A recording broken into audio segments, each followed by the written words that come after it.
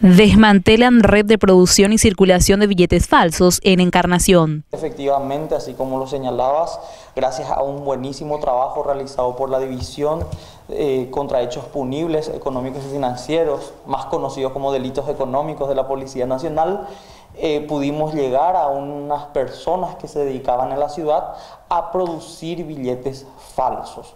Se manejaba una información que fue procesada por el equipo policial de delitos económicos de la Policía Nacional y una vez obtenía mayor información eh, se pudo solicitar orden de allanamiento, se hicieron dos allanamientos simultáneos, uno en un local comercial eh, que se dedica a la copistería, a, a las impresiones, donde trabaja la imputada, la que ya está detenida, y también en la vivienda de la misma donde operaba o desde donde operaba con su pareja sentimental, quien también ya está detenido.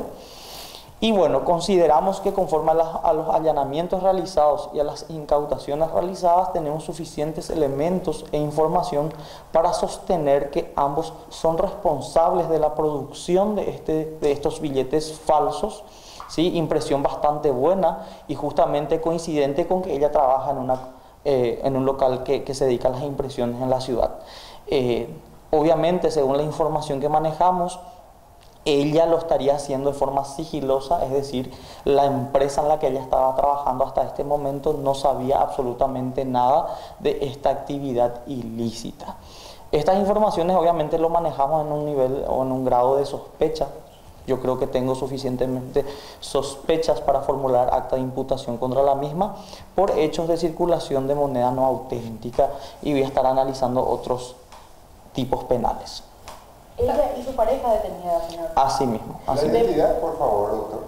Sí, ella se llama Tamara Álvarez y él se llama Javier Javier Martínez, Javier Martínez. Este operativo ha permitido desbaratar una organización criminal dedicada a la producción y circulación de billetes falsos. Se ha levantado un acta de todo lo actuado en el procedimiento.